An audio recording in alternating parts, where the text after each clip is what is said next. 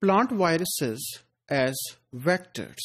So this is also an alternative to agrobacterium mediated transformation or direct DNA transformation. So plant viruses can be used for uh, this purpose as well. If you remember the bacteriophages that they have the ability to adsorb on the bacterial cells and after adsorption they can inject their DNA directly into the bacterial cells. So in the similar manner, plant viruses can also transfer its DNA into plant cells after attachment. Plant virus vectors, they have several advantages as compared to other vectors. The first advantage is that after adsorption, it can transfer its DNA into the plant cells and even the naked DNA or RNA.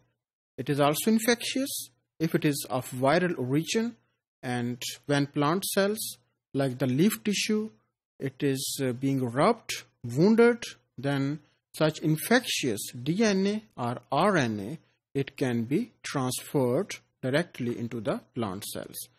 कि पहला advantage ये है कि चाहे वो necked DNA है या phase particle के अंदर है, वो वुंडर टिश्यू में अगर हम सेल्स को रब करें तो उसके अंदर ट्रांसफ़र हो जाते हैं second advantage is that once it is transferred into the plant cells as is the case with bacteriophages that they will start replication into the host cells so so that number of phage particles they may be produced that are going to infect most of the cells.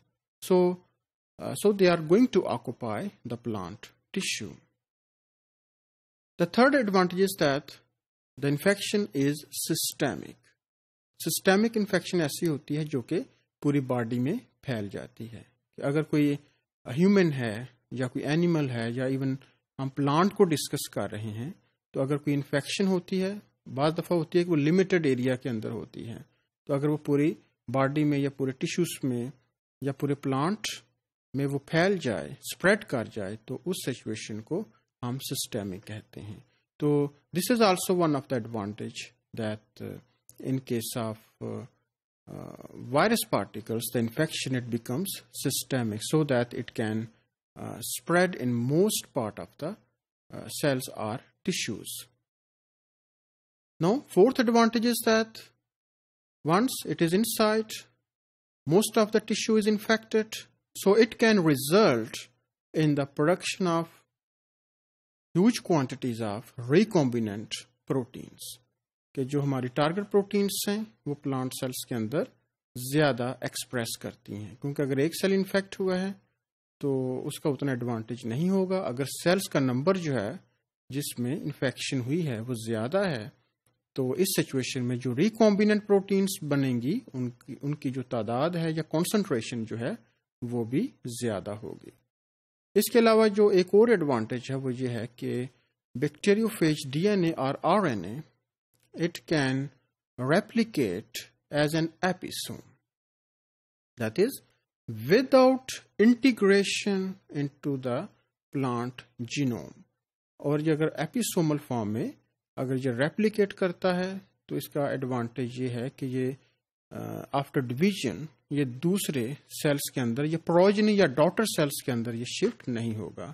And we have already discuss the advantage that it is a natural containment के जो दूसरी germ lines हैं या environment में जो दूसरे plant grow कर रहे हैं तो उस तक ये जो एक्सोजीनस डीएनए है, उसकी जो पहुँच है, ये बाकी नहीं रहती। क्योंकि बाज दफ़ा ये डिज़ायरेबल नहीं है कि if we have inserted exogenous DNA and it is going to transfer in progeny cell, so it may contaminate our natural flora as well so uh, this is one of the advantage that is natural containment so this is one of the method that uh, phage particles, they, they can be directly used to transfer to transform plant cells. But in addition to that, phage DNA, it can be inserted into vector that, uh, that in case of agrobacterium vector and then it can be uh, used to transform plant cells. So uh, one or two techniques can be used where the phage DNA it can be inserted into the plant genome directly.